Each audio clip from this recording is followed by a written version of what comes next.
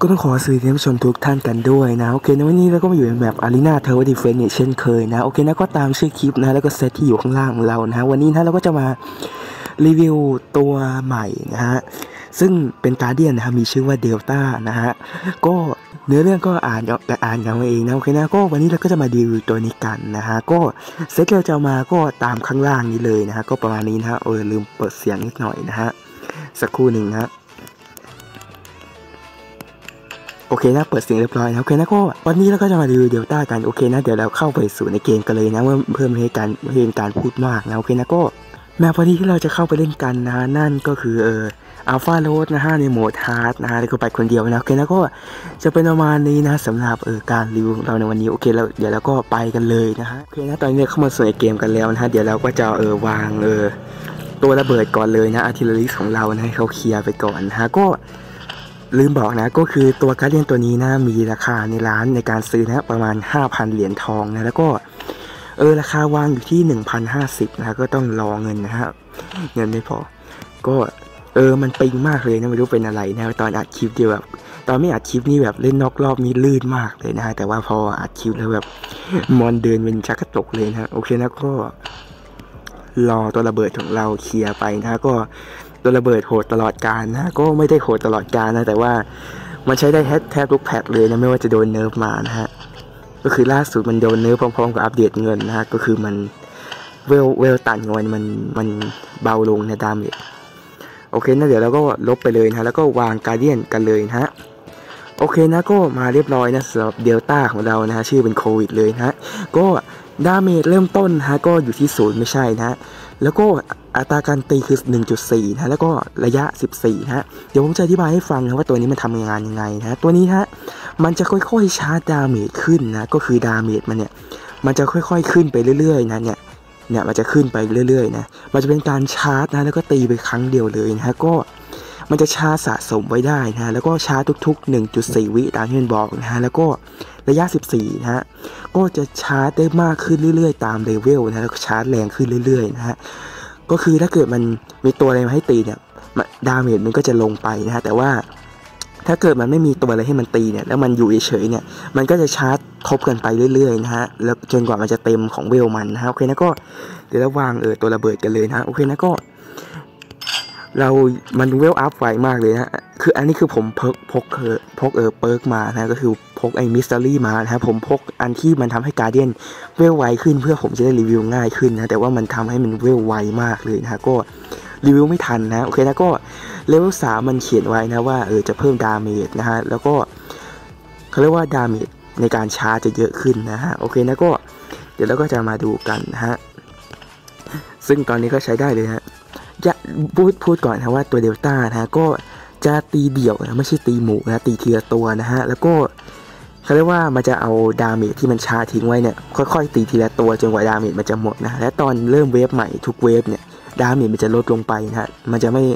จนกว่าจะเวล15มันถ้าเกิดมันยังชาร์จมันยังชาร์จมันยังเวลไม่ถึง15เนี่ยถ้าเกิดถ้าเกิดมันขึ้น wave ใหม่เนี่ยเออ damage มันจะหายไปไปครึ่งหนึ่งนะครับไปส่วนหนึ่งนะโอเคนะ ส่วน level สี่บอกว่าจะเพิ่มความในการชาร์จนะฮะแล้วก็ ความในอ่าความในการชาร์จแค่นั้นแหละโอเคนะก็เดี๋ยวเราจะมาเริ่มวางฟาร์มกันเลยนะครับอันนี้เราเปลี่ยน skin มาแล้วนะหนวกหูน้อยกว่าเดิมนะฮะโอเคนะเนี่ยก็จะสังเกตได้ว่า damage ขึ้นไปเรื่อยๆเลยนะฮะก็มันต้องใช้เวลาในการชาร์จพอสมควรฮะซึ่ง damage จริงของมันนะก็คือประมาณเออดูจากที่มันขึ้นชาร์จมานะฮะก็ประมาณ damage 6นะฮะ6ต่อ 1.4 วินะฮะก็เป็น damage หลักของมันที่มันก่อนชาร์จนะฮะก็คือไม่นับตอนมันชาร์จ stack กันนะฮะ ซึ่ง perk ของผมมันโคตรจะทำให้ guardian เร็ว level up ไวมากเลยนะฮะก็เป็น perk ราคาถูกๆนะแต่ว่าดีนะ โอเคนะก็เลเวล5นะก็จะเขียนไว้นะว่าเป็นเบสสกิฟายนะ ก็คือมันจะทำการเป็นเป็น skill นะก็คือจะทำการเออเขาเรียกว่าหักเลือดที่ฐานเรา 10 หน่วยนะฮะเพื่อที่จะทำให้มันชาร์จชาร์จเขาเรียกว่า damage เร็วขึ้น 3 เท่านะฮะเป็นเวลาสั้น แล้วก็ cooldown 45 วินาทีนะฮะ อันนี้เป็น skill ที่ไม่ควรจะใช้นะสำหรับเออพวกโหมดเขาเรียกว่าเออโหมด master นะฮะกับเออ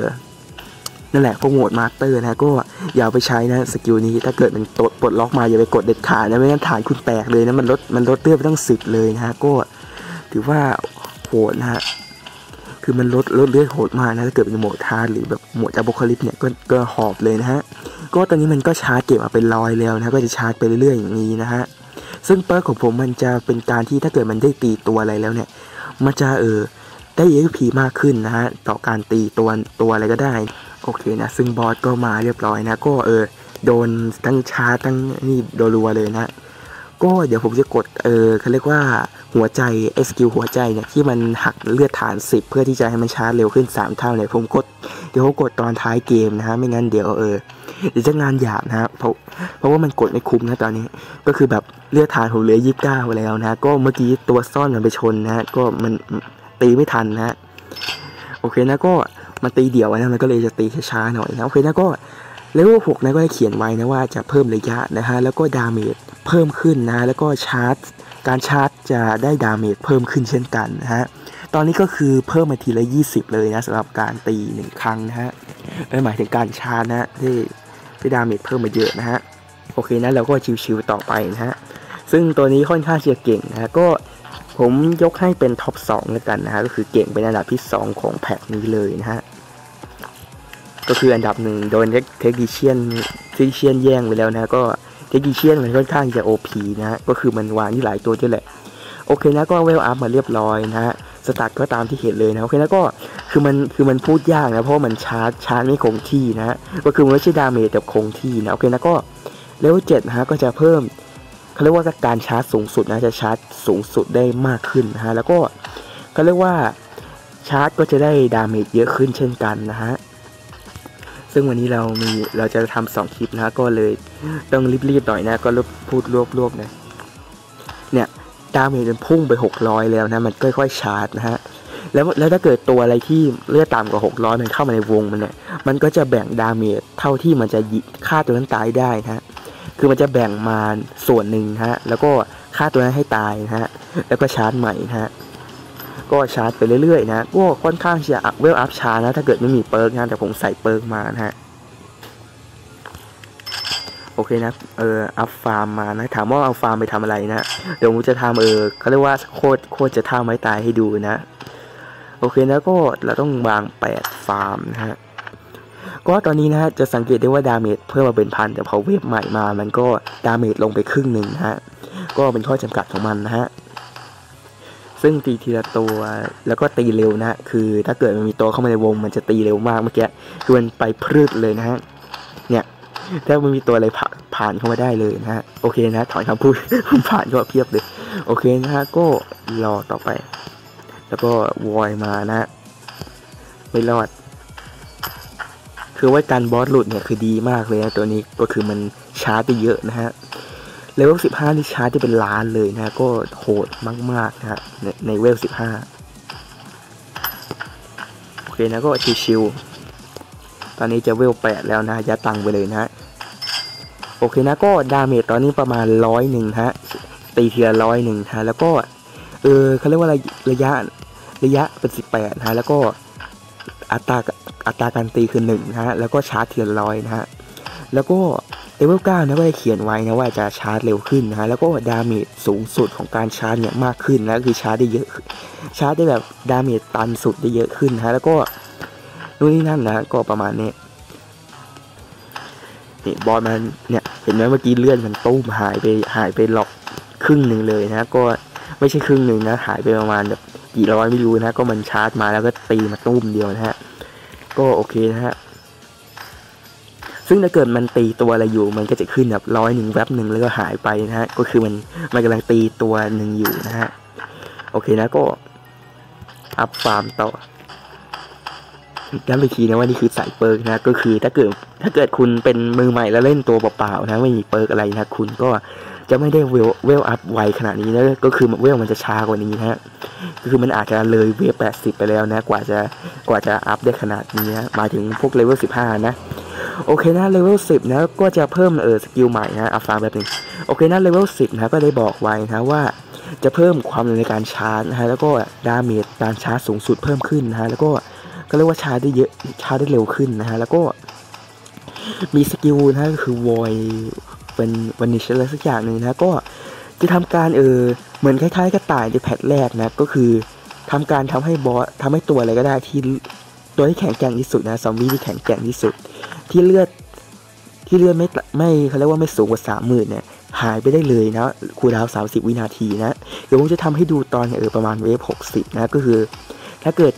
บอสตัวอะไรที่แบบ ถ้าเกิดตัวอะไรที่มันอึดๆมานะฮะ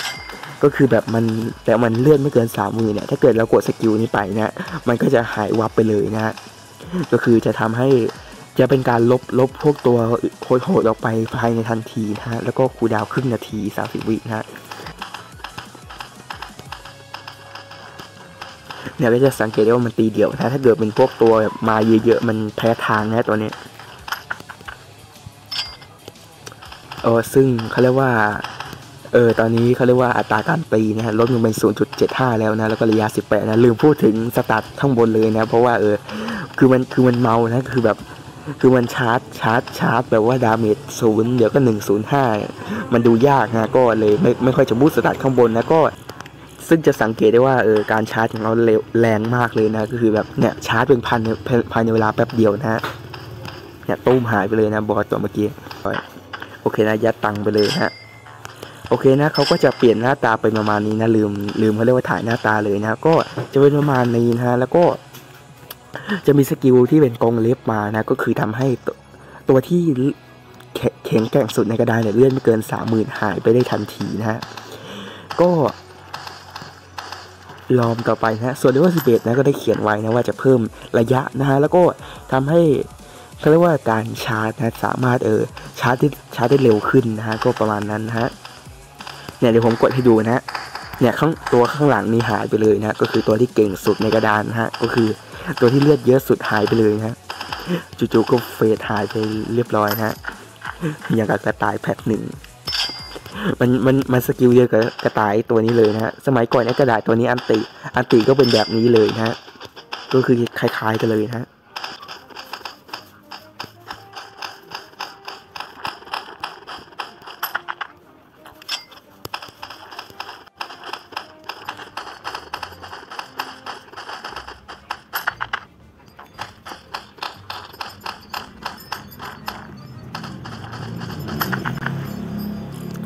โอเคนะ ตอนนี้ก็ level up มาเป็นเออ11 แล้วนะ ก็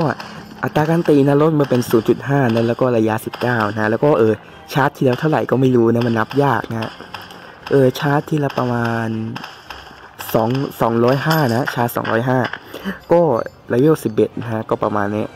ซึ่งเลเวล12 นะฮะก็ได้เขียนไว้นะว่าจะเออเขาเรียกว่า damage เพิ่มขึ้นนะ แล้วก็เขาเรียกว่าจะชาร์จเร็วขึ้นเช่นกันฮะ ซึ่งถ้าเกิดใครสงสัยนะว่าทำไมตัวระเบิดมันตีตัวล่องหนได้นะฮะมันเห็นตัวล่องหนก็เพราะว่ากระต่ายมันช่วยปลานะเผื่อใครไม่รู้นะฮะก็กระต่ายถ้าเกิดมันปลาตัวล่องหนตัวล่องหนนั้นจะสูญเสียสถานะนะฮะสถานะล่องหนทำให้ทำให้ตัวกระต่ายเราสามารถไปเปิดไปเปิดตาให้ตัวให้ตัวระเบิดได้นะก็ทำให้มันโหดมากๆนะฮะก็รอต่อไปอีก 23,000 XP นะฮะ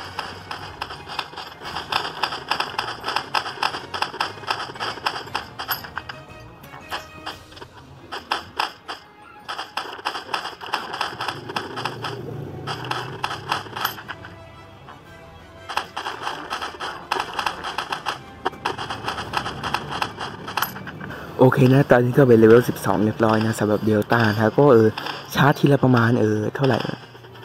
ประมาณ 245 นะ แล้วก็อัตราการตีลดเพิ่ม0.4 นะ แล้วก็ระยะ 19 เหมือนเดิมนะฮะ ส่วนเลเวล 13 ไม่ได้เขียนไว้นะว่า damage สูงสุดจะเพิ่มขึ้นนะ แล้วก็พลังในการชาร์จก็เพิ่มขึ้นนะ ตอนนี้ damage กลายเป็นแสนแล้วนะตัวนี้ เป็นแสนอย่างรวดเร็วนะ โอเคนะเดี๋ยวผมจะทำอะไรให้ดูนะครับ บอสเลือด 24,000กด skill นะ หายไปเลยนะ อ้าวแล้วทำไมมัน cooldown 20 วิตอนแรกบอก 30 โอเคช่างมันนะก็จะเห็นจะเห็นได้ว่าบอสหายไปภายในเวลาสั้นๆเลยนะฮะกดเดียวแล้วบอสหายไปเลยนะฮะ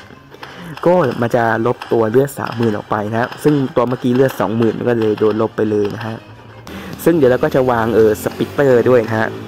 เราจะสปิตเตอร์มาช่วยเขาเรียกว่าทำทำให้ mon เดินช้านะฮะเพื่อที่จะให้เขาโชว์ประสิทธิภาพของเขานะสำหรับเออเดลต้านะฮะ โอเคนะกด up ไปเลยนะฮะ damage ฮะตอนนี้ชาร์จทีละเออทีละเท่าไหร่ไม่รู้นะมันไม่คงที่นะแล้วก็อัตราการตีเป็น 0.4 เหมือนเดิมระยะ 19 เหมือนเดิมนะฮะซึ่งก็เหมือนเดิมทุกอย่างฮะก็เพิ่มแค่ตามที่เขาเขียนไว้นะโอเคนะก็เลเวล14 นะการชาร์จนะฮะก็จะเร็วขึ้นนะ แล้วก็เขาเรียกว่า skill ของเขานะที่ลบ mon เลือด30,000 ที่เราบอกไปนะฮะก็จะเพิ่มขึ้นนะกลายเป็นเออจาก สูงสุดเลือด30,000นะจะกลายเป็นลบลบลบตัวเลือดเลือดที่ไม่เกิน50,000ออกไปนะก็เพิ่มมา20,000นะก็ทำให้ skill นี้สามารถลบตัวได้เยอะขึ้นฮะไม่ใช่ลบตัวได้เยอะขึ้นนะสามารถลบตัวอื่นได้มากขึ้นนะก็ประมาณนั้นฮะซึ่งวอยกูมาก็ไม่สามารถรอดได้นะซึ่งเรา up สปิเตอร์ไปเลยนะฮะตัว slow ขวัญใจของเรานะขวัญใจขวัญใจคนเล่นนะ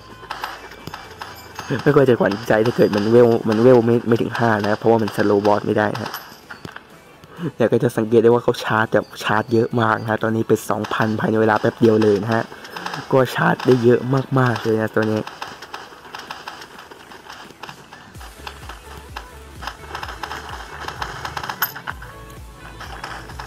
โอเคแล้วเดี๋ยวกด up ไปเลยนะฮะ โอเคหน้าอัตราการตีลดเป็น0.3 นะ แล้วก็ชาร์จทีละ300 นะ แล้วก็ ระยะเหมือนเดิมนะ19 แล้วก็เลเวล15 นะก็ได้เขียนไว้นะว่า damage เออจะไม่ลดลงนะ ถ้าเกิดมันผ่าน wave ไปนะ ถ้าเกิดขึ้น wave ใหม่ปกติ จะสังเกตได้ว่า damage มันลดลงนะ ก็คือมันจะลดไปครึ่งหนึ่งนะฮะเลเวล15 จะไม่ลดแล้วนะ แล้วก็สามารถชาร์จได้สูงสุดถึง 1 ล้าน damage นะฮะ ก็จะแรงมากๆเลยนะฮะ แล้วก็เออเขาเรียกว่าจะชาร์จ จะชาร์จได้เยอะขึ้นนะแล้วก็ จะชาร์จที่เร็วขึ้นนะแล้วก็ damage ก็เพิ่มขึ้นนะแล้วก็นู่นนี่นั่นนะฮะก็ประมาณนี้นะฮะก็เดี๋ยวเราจะเออรอดูกันนะฮะว่าเขาจะเป็นยังไงนะฮะ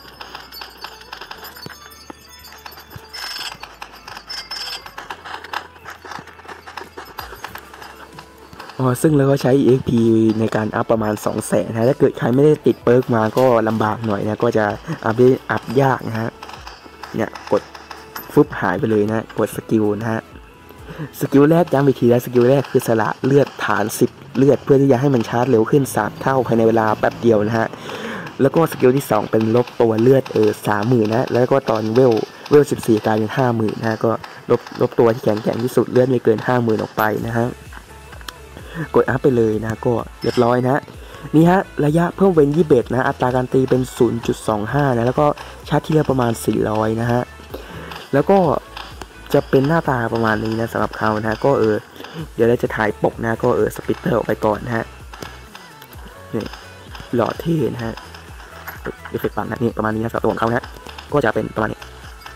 มันถ่ายให้มันมันเห็นชัดโอเคนะถ่ายประมาณนี้นะก็เอาเงินออกนะให้มันเออตัดภาพดีๆนะโอเคนะเออมันบินมาบังกล้องเต็มเลยนะถ่ายสดๆนี่แหละโอเคนะบังกล้องเนี้ยเดี๋ยวไป cap ในคลิปแล้วกันนะช่างช่างมันฮะบังกล้องเหลือเกิน โอเคนะกด up สเปกเตอร์มาก่อนฮะโอโอไม่ดีแล้วฮะโอเคไม่ดีแล้ว มันหลุดหลุด โอเคนะก็รอดอยู่นะได้อยู่ เกือบตาย ไม่น่าสปิตเตอร์ออกเลยนะเกือบเกือบแล้วสปิตเตอร์มันช่วย slow ได้เยอะนะ แต่ว่าเออเราเผลอไปเอาออกเมื่อกี้โอเคนะกดลบไปเลยนะ ลบไปตัวหนึ่งเมื่อกี้ โอเคนะ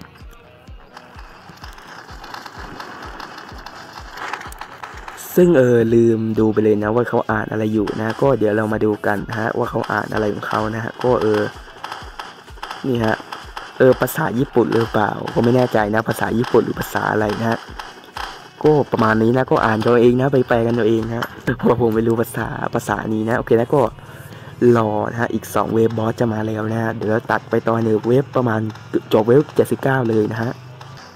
โอเคนะตอนนี้กำลังจะจบเวฟ79 แล้วนะเดี๋ยวผมจะทำอะไรให้ท่านผู้ชมดูนะฮะว่า มันเป็นอะไรที่เร็วมากๆนะการฆ่าวอที่เร็วที่สุดนะฮะโอเคนะก็ เดี๋ยวผมจะ จะเตรียมเสกกระต่ายนะฮะโอเคนะเดี๋ยวผมเสกกระต่ายมาเลยนะฮะกระต่ายชดรวมกันเลือดห้าหมื่นนะสำหรับกระต่ายฝูงนี้นะ แล้วก็เดี๋ยวผมจะกดเรียนเตรียมกด skill ของเดลต้าให้ดูนะฮะก็เออรอกระต่ายมันวนมานะฮะ ก็แล้วก็กดชาร์จไปด้วยนะชาร์จเร็วขึ้นนะแล้วก็บอสนะฮะเลือดต่ำกว่าห้าหมื่นนะแล้วก็เรียบร้อยนะฮะหายไปเลยนะเป็นไงฮะตัวนี้เดลต้าก็ดีนะฮะสำหรับตัวนี้ดีมากๆเลยนะ ก็สูสีกับเออเทคนิเชียนนะก็แล้วแต่คนนะว่าเขาจะคิดยังไงแต่ผมมองว่าเทคนิเชียนค่อนข้างจะโอพีกว่านะเพราะว่ามันวางได้หลายตัวกว่านะฮะ